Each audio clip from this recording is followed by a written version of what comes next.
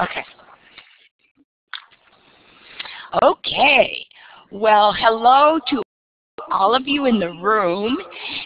And I'm so excited to have this opportunity to do this, well, I, I, guess I should say take this big risk. We've never before tried to do a combination of a face-to-face -face presentation with a virtual presentation, both of us in different locations, but here to share with all of you.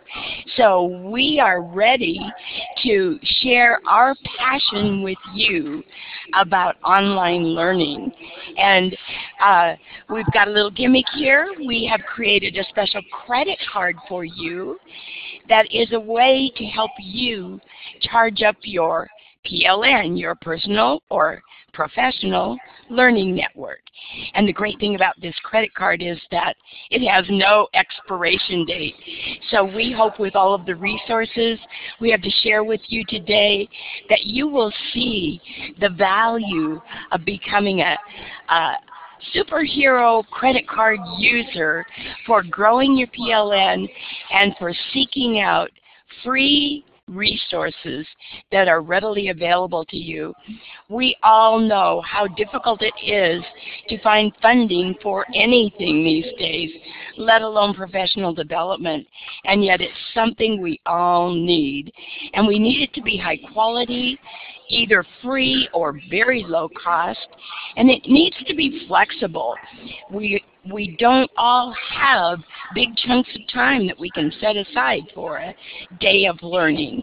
And so we hope that through the things we have to share with you today, you're going to find out how you can do that for yourself. And here is your charge card. Now, this is not one you have to even fit in your wallet. You just need to know that you have it. And it's there and it has unlimited funds in it and it's going to help you take charge of your own professional learning. Your interest will compound daily based on your investments of time and energy. And remember, there's no expiration date on your credit card. Kim, would you like to say a few words about this? And then I'm going to take them into application sharing. Okay, before we do that, I am going to ask and sorry about the feedback. This is one of the things we're learning about. Um, okay. How many of you have ever attended or participated in an online webinar? All right, all right. So the other ones, Chris has two. You you have it? Yay, have you?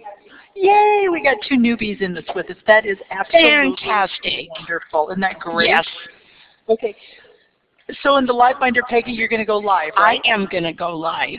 So let me let me do that right now, because what we want all of you to know is that we have a very special LiveBinder that is loaded with resources for free professional development, whether it's webinars or virtual conferences or tools like Twitter and TweetDeck and Periscope and all of those things. And they're all inside this LiveBinder that you can see on the screen. That's what the LiveBinder looks like when you open it up. So I'm going to open that up for you on my screen now and um, take you on a really quick guided tour. Kim, check with people to see how many are familiar with LiveBinders in the room. Well, let me see. I'm looking at one, two, three that were in the class this morning. We've got a shaking of the hand, kind of. No, how awesome. about you over here? Nope. Okay. Great. So, so we've got probably four. Okay. Well, LiveBinders is just a wonderful tool for sharing, curating, and collaborating on resources. And basically, it's a three-ring binder, but it's a digital binder. So it's a it's a way that you can um, compile these resources and they're live and virtual. So this is the LiveBinder we've created for you. And I'm right here on the very opening tab in the LiveBinder. LiveBinders have tabs and they also have subtabs. So when you click on a tab, look what happens. It opens up into lots of subtabs, as many as you put in there. You'll see this awesome picture. This is a picture of a gathering we had for a DEN virtual conference.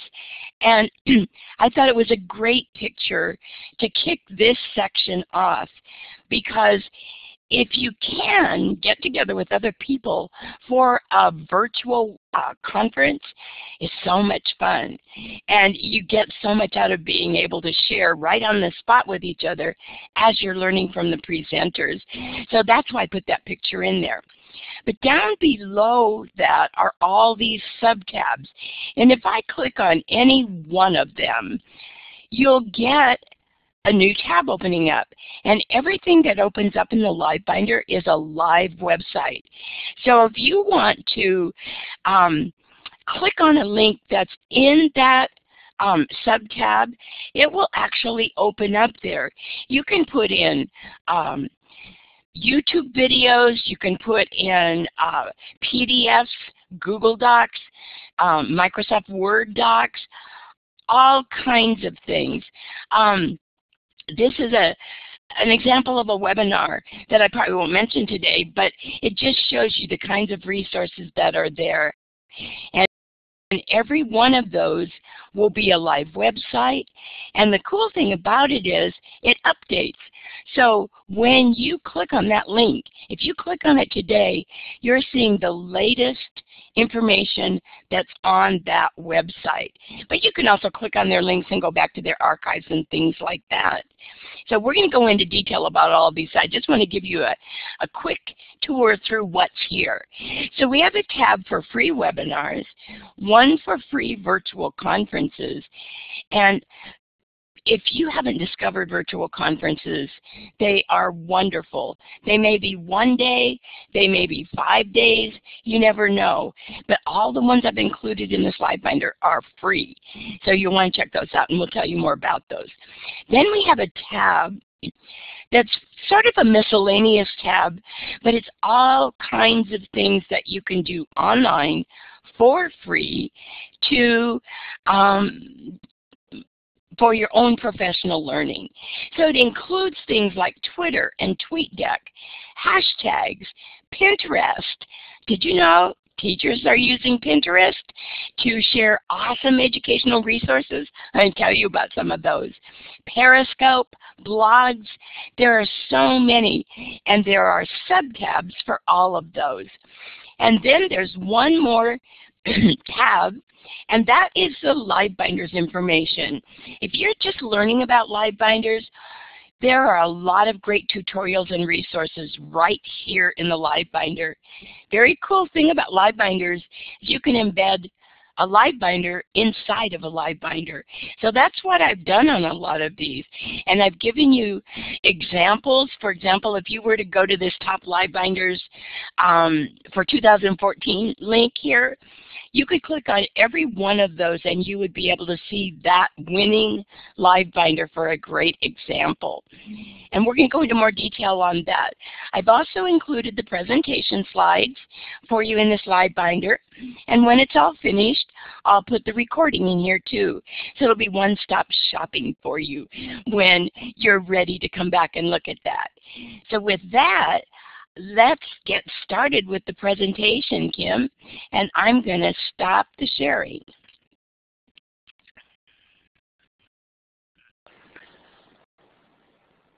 We've already talked about free webinars, so I'm going to move we on here, and I went too fast to Classroom 2.0. Um, Peggy George started me on my journey of online resources and growing my own PLN. And it was years ago, and I started out with the Classroom 2.0 Live. It's a show she does every Saturday. That's another one you will want to mark down. She introduced me to people like Steve Hargadon, Wesley Fryer, Aviva Dunsiger, a bunch of people that I now have followed and learned so much from.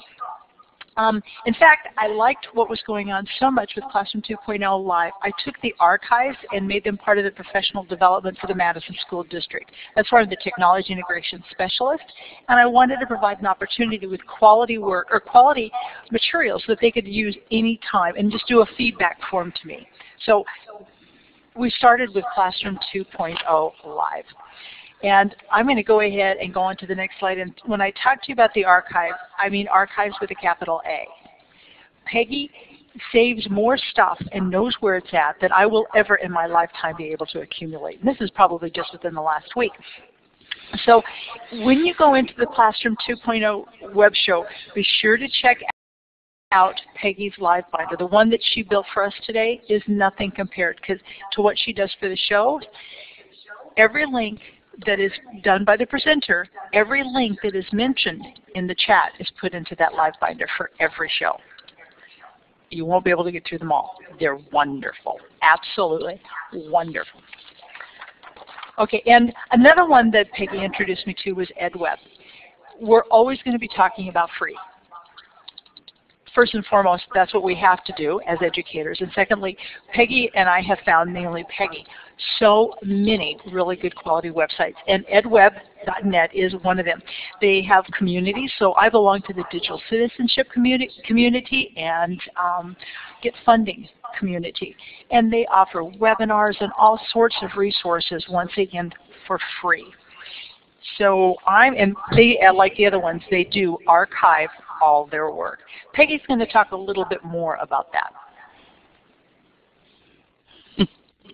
Yes, EdWeb webinars are fabulous. And I, I love that they not only offer them for free for the live sessions, but everything in their archives are free too. All you have to do is register. You sign up on the site. And then you join these communities that share your interests and passions. So I made, I actually made two slides just to give you the sense of the many communities they have there. You're not going to be able to read these on this slide because they're very small, but I belong to easily uh, maybe 50 communities, and there are even more that I don't belong to. But what you do when you go to EdWeb is you join a community and then you'll get notifications about their upcoming webinars. So if you're interested in GetEd funding, for example, that is a um, series of webinars. It's all about ways to find funding sources and write grants and get technology in your classroom. So you'll get notified when they have a webinar coming up and then you can, if you can't participate live, you go in and watch the recording afterwards. They have a great one on growing school gardens where they've shared all kinds of tips and resources about how you can get one started at your own school. There are a lot related to technology, but they aren't all. Um, I love the webinars for teaching students with autism. They always have great resources and ideas. And then they have a lot on the brain and learning and STEM, all kinds of things related to STEM. So that just gives you a bit of an idea of what you'll find when you go there. So go in, um, join the site, and then start browsing through their um, communities, and you will be amazed. One of the ones I, I like to mention, there's a community called New Teacher Help, and it's great not only for teachers that maybe are in their first few years of teaching, but also for those of you that are mentors and coaches and help to um, facilitate uh, new teachers in the classroom. They, it's done by Shannon Holden, and he's an assistant principal and he gives you lots of great tips. It may be about classroom management. It may be about how to handle bullying in the classroom. I mean, it could be anything. He may give you tech tools and how you can use them, like Remind with parents, things like that. So that's one community that I would recommend that you take a look at and try to go to one of his webinars or at least watch the recording and see what you think. Okay, so I have been fortunate to hitch my wagon to a star, and that star is Peggy. She's a friend. Um, she's a mentor and pretty much somebody that if she says do it, I do it because she knows what she's talking about. So in 2012, she asked if I wanted to do a show, and it was kind of based upon what we've done at my house. We call them the Geek Fest. And people would come over on a Saturday and sit around my cow kitchen table, drink coffee, have donuts. It was not formal.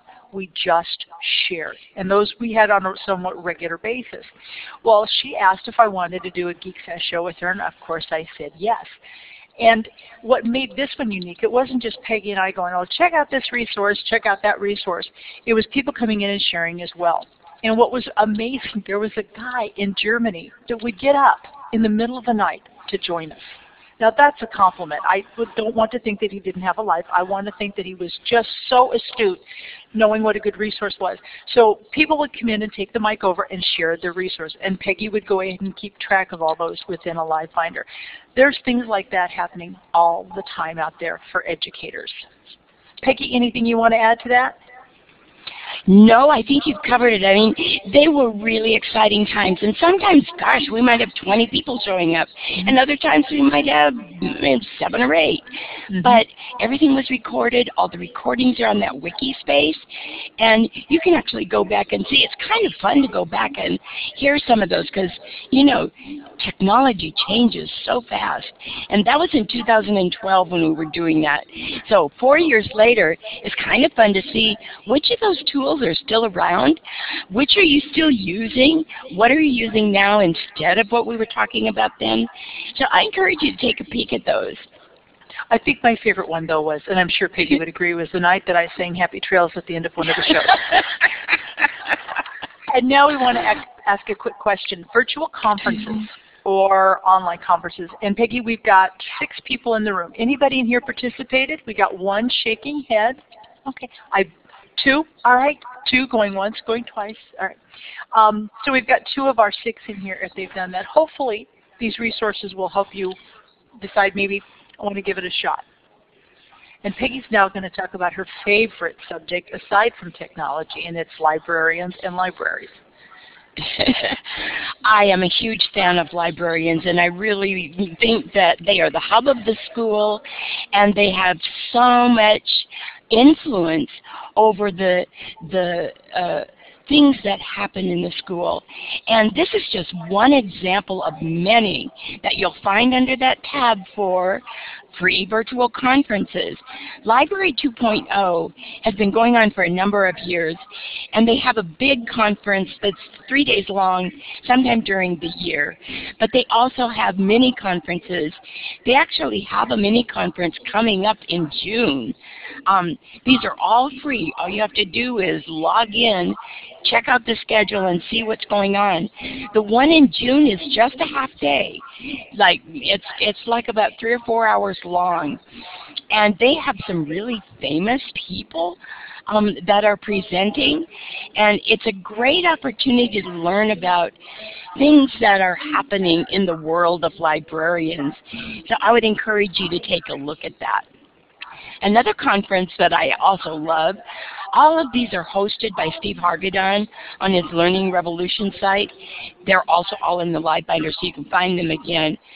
Global education is such an important thing for us to be dealing with right now.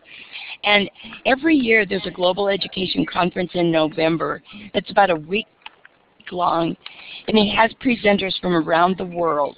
They're all done in Blackboard Collaborate. Most of the sessions are about 50 minutes to an hour long, and they're all recorded. So you can go back and browse through the topics and listen to those that you're especially interested in. But global education is something our students really need. So it's good to get inspired and to learn about some of those resources so you can help your students. Okay, so after Peggy showed Classroom 2.0, my next aha was the moment that Peggy introduced me to the K-12 online conference. Presenters create about 20-minute presentations. They're engaging videos that last over about a two-week conference. You can go in and pick and choose. Once again, they're all archived. The organizers have done a wonderful job of setting up the web page so you know who's going to be speaking when. The presenters are from all over the world and provide ideas and insights that are invaluable to us as educators.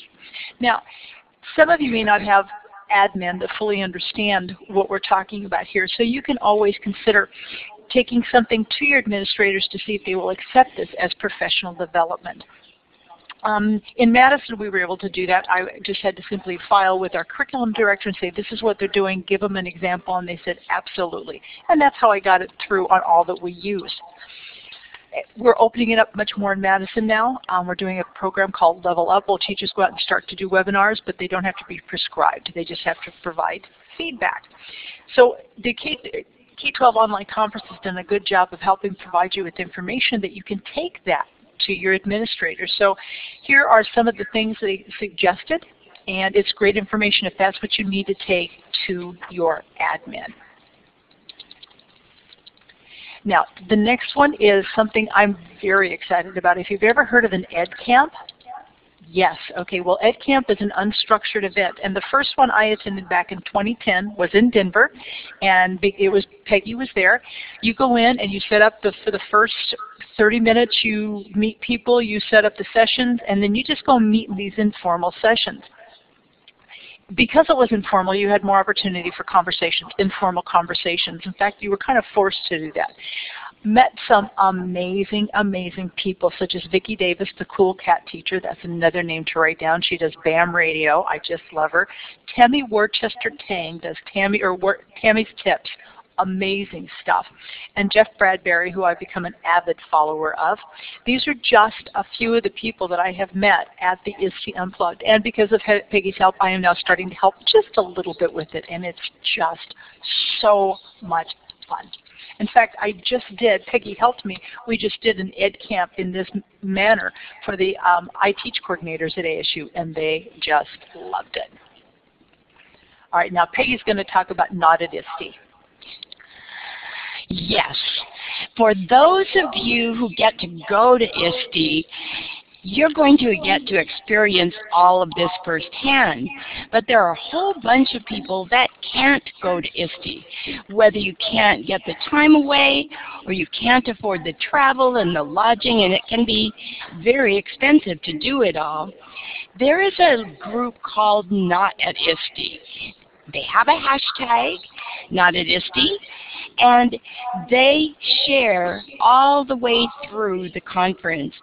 They may actually be doing presentations during the conference, and they'll put it online, and they'll, they may do it in a Google Hangout or in a Twitter chat or something like that. But you can actually participate in those.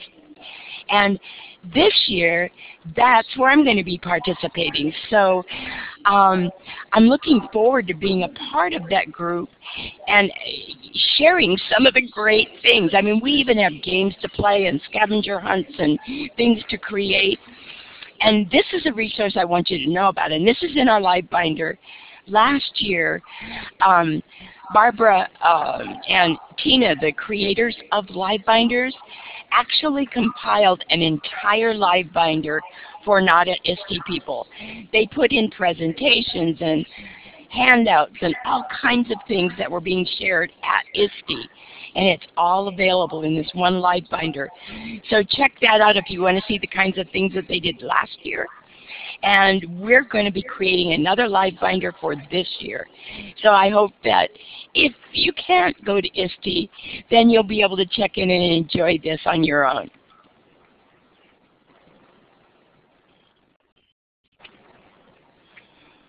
Okay, I think I think this one's mine, Kim, is it?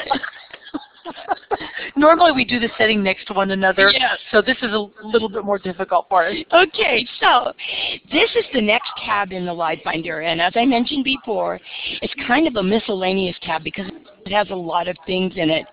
But they're all tools that you can use to grow your uh, personal learning networks and connect with other educators whenever you have time.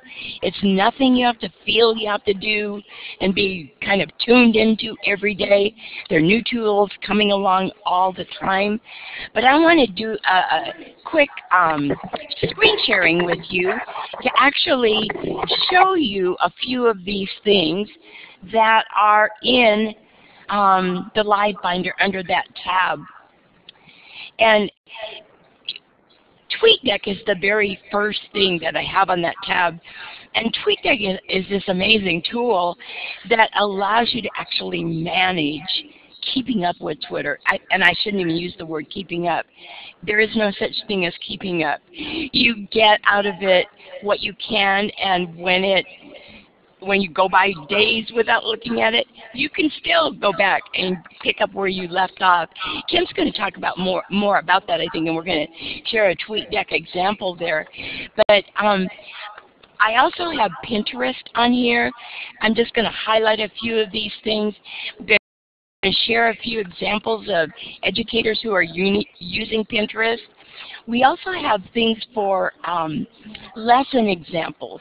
For example, um, lessoncast.org. Kim's going to mention that a little bit later, but that's a place where you can actually go and get real lesson plans. They're all just right there for you. And notice that this is a live link, so this is their latest stuff. And I could click on any of these tabs and go right into those resources. We also have lots of information about hashtags and how you use hashtags to connect with groups of people that you have something in common with. There's some really good resources in there for how to find them and how to use them.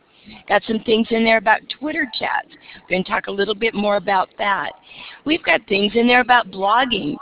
Some of you may have actually participated in the teacher, the student um, challenge for blogging that EduBlogs does.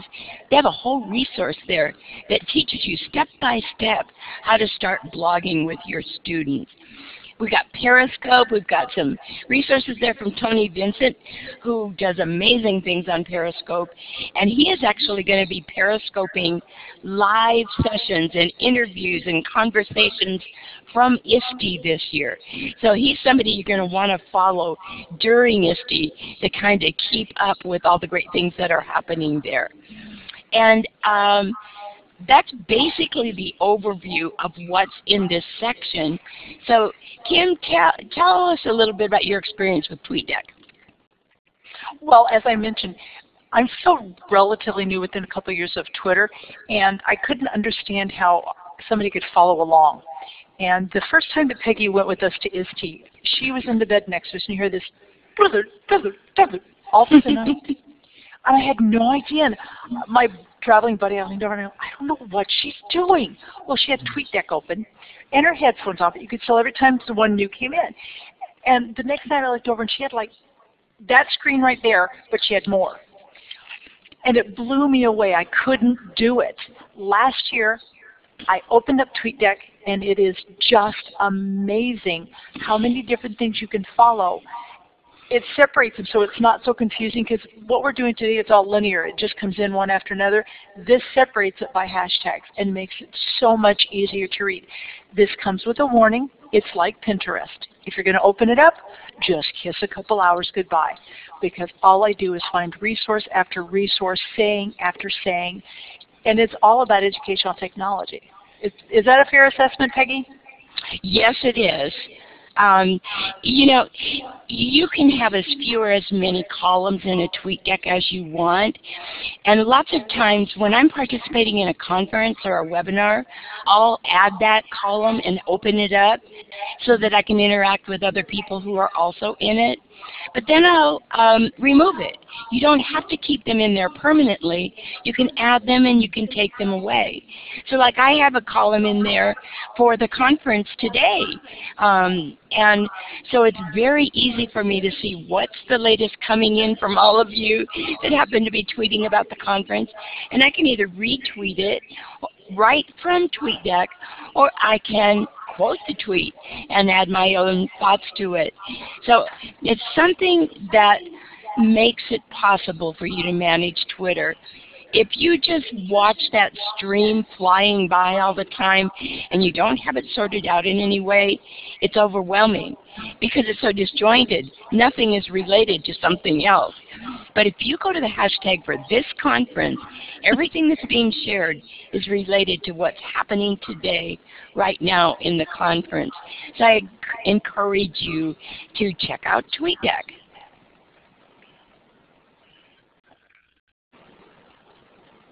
Okay, we're heading right into our talk about um, hashtags.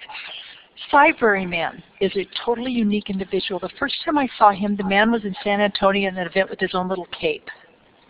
You just look at him and go, okay, strange. The man is an unbelievable wealth of information. Once I came across this, all the hashtags, I just, I got it. All of a sudden, I get what the hashtags mean. So if, if nothing else from today, make sure you go in and have this page because it's going to help you on your quest to go out and find good resources on Twitter.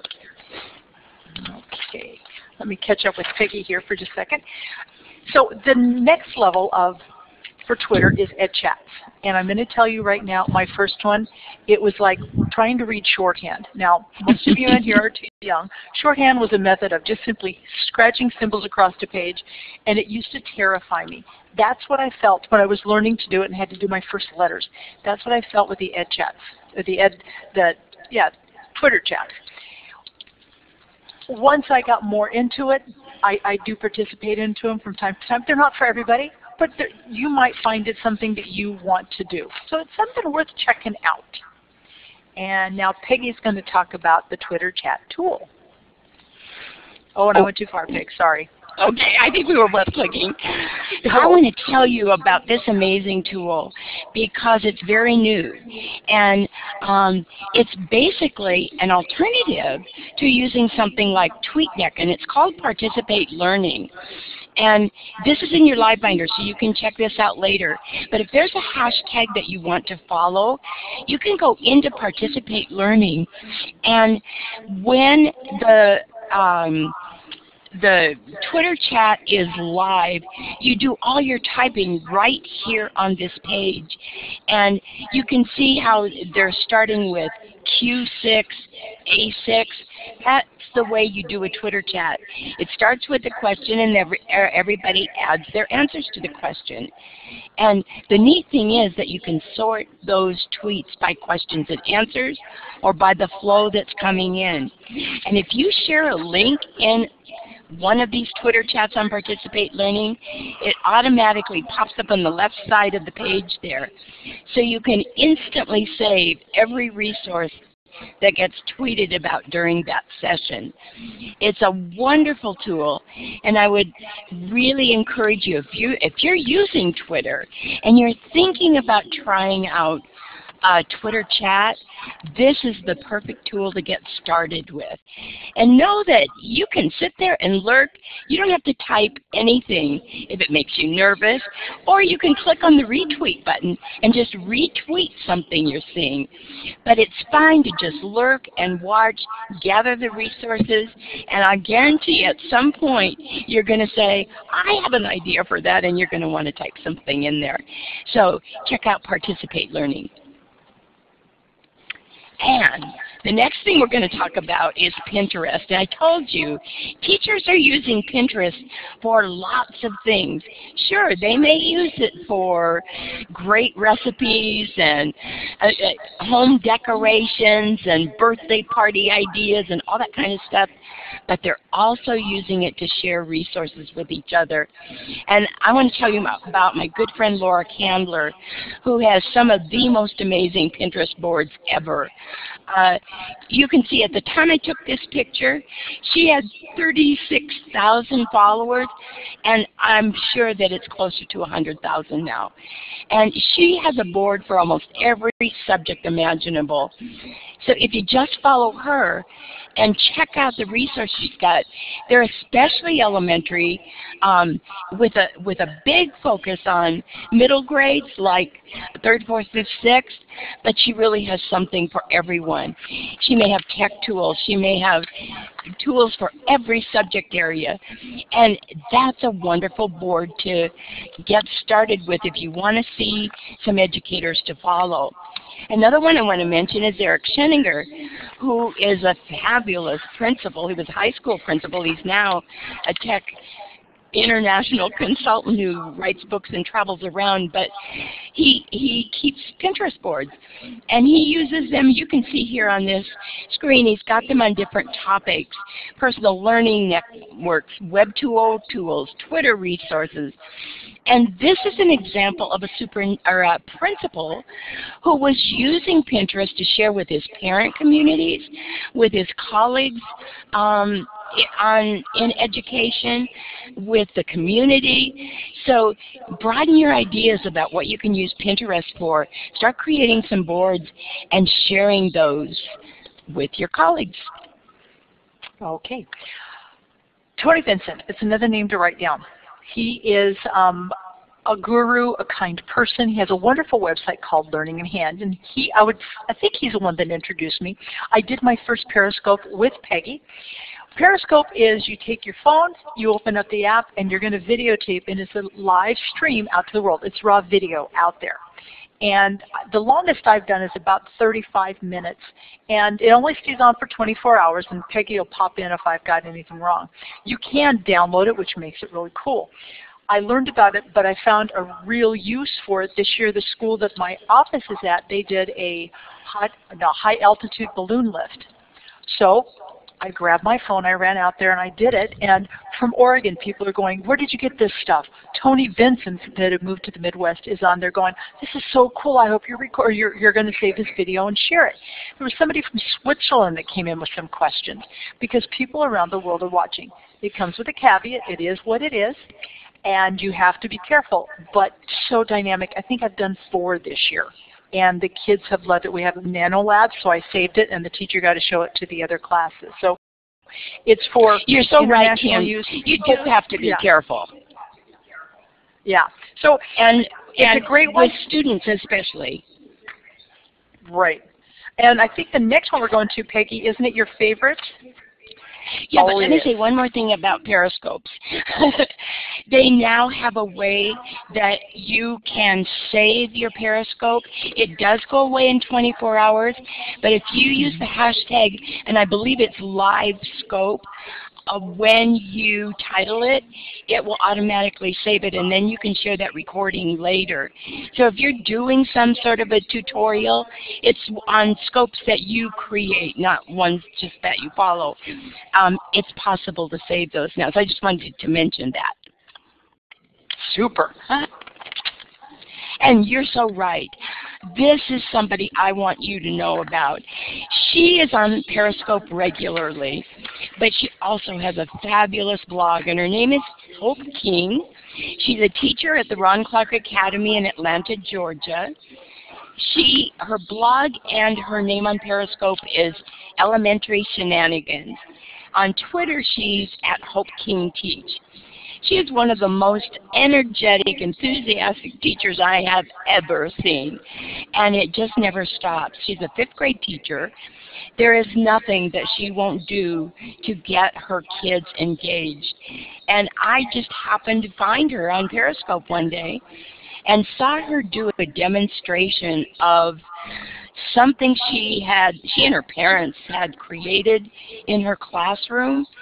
And it was an entire theme of Allison Through the Looking Glass.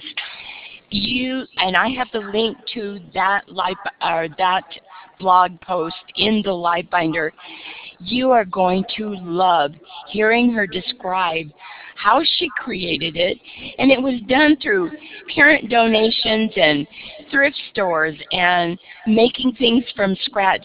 But she totally transformed her classroom, and the kids were so immersed in it, you couldn't stop them from learning. And she stresses that it's about the learning, and, and obviously the environment you create is so important. But it's not just to make it fun and interesting, it's to further their learning. And she shares all kinds of strategies that she uses, like chants and, and music and all kinds of things, movement kinds of things, to keep kids engaged and on task while they're working on their their writing or their projects. So I really want you to check her out um, in our live binder and see the kinds of things she's doing. Okay. It's time, if you want to learn more about blogging, it's time to go back to Cybraryman to the rescue yet again. He has created a web page full of information that's going to help you. The one on here that I want to point out, and I probably won't be able to find it now that I'm looking straight at it, is the mm-hmm. one with um, McTeach. I was working with a second grade class or third grade classroom, and I used her method of paper blogging. Who in here has blogged before with students? A little bit? Okay. It's pretty abstract. So we did paper blogging. Once again, I learned it all from McTeach. She did it in seventh grade. We ended up doing that at the entire second grade level at one of our schools, and it has just been an absolute success because we take it from the abstract or the concrete to the abstract by using the paper one. So that is a really good one that you may just want to check out. We go here. We're going to keep talking about blogging, and you've got your um, the comments, I'm going to talk about blogs first, sorry. The teacher challenges, and Peggy, you're going to need to jump in here when you can. Okay. It talks about blogging with students, but Peggy wanted me to make sure that I brought up um, to tell you about comments for kids. She told me about that. So when kids make a comment, Peggy, correct me, if you use a hashtag to put the post in the student blogging, they will get responses. Peggy, I know I murdered that, so I bet you're going to want to explain it better. I know I did. Actually, you did a great job. It's the hashtag comments for kids. They also have a blog, but if you add that hashtag, if your students are um, using Twitter and add that hashtag, or if you as the teacher want other students and other teachers to give them feedback on their blog posts, there is nothing more encouraging than to have somebody from another country even respond to your blog post, especially when you're getting started. So if you use that hashtag comments for kids, it's just teachers and students sharing with each other. And they may go on there and they may say, my student just blogged about an amazing trip their family took last summer. And please comment. They may say that. So you respond to those just because it's on that hashtag. That would be a good hashtag to put in a column on TweetDeck. Perfect. Peggy, I'm looking, we've only got about four minutes left, so I'm going to do this one, okay. and then while I'm doing that, why don't you go through and pick out the, the last one or two that we can highlight? Okay. Okay, so how, how do you learn about keeping track of all these things? Well, Peggy, I'm going to say me, but it's Peggy, has come up all, with all these wonderful ideas. It's a good idea to start small. Don't think you have to hit everything in that binder, guys. Pick a couple that are near and dear to your heart and take it from there. You've got Google+, you've got Twitter, and all sorts of places that you can branch out to. I love web shows. Um, I'm the one at the gym that's got the iPad mini on the, the, I'm doing this as I'm on the treadmill because that's how I learn. When I'm cleaning, I have a podcast going. I play it through my radio in my car on the way to work because the more I hear, the more ideas I'm going to get, and I love it. Um, I don't have a life, so that for me is exciting, you guys, because I've got Peggy, Peggy in my league. So um, nobody says you have to do it every day, all day, but you'll be surprised by listening to one a week how it's going to grow your level of use. Your, it's going to open up the world for you. Let me put it to you that way. So Peggy, are you ready? We've got two minutes left. I, I would like to hand that over to you if you're comfortable with that. Sure, we'll just speed through these because all of these slides are in the live binder so they can follow it and check each one out if they want to. Um, I want to just say this whole section is about resources that are free online that you can find how-to videos, you can find lesson plans. I hope you're all using uh, PBS Learning Media because those resources are great. Discovery Education has lots of lesson plans and virtual field trips, and these links are in the live binder. LessonCast I mentioned earlier, all kinds of lessons for you. I also would encourage you to go into live binders to start your search for topics and resources you need, let's start with Google. If you Google inside of LiveBinders, you're going to find awesome resources that have been created by other teachers and they've already narrowed the field down for you and you know that you're getting some good resources that way. I want to remind you again that this is all about how we can build our own personal learning networks and begin to take charge of our own education. I want to mention that there's an awesome recording in the live binder from the Education 140 um, conference that has some really good advice from some very uh, knowledgeable educators that I think you'll enjoy listening to. And remember to use your charge card to help you begin to take charge of your learning. And there is no expiration date. and our final reminder, learning takes time, so be patient with yourself. Like and last but not least, I want to thank Peggy in particular. And um, we have to get out of the room. Okay. So thank you guys for being here. Peggy, thank you, and we'll talk. Thank you all.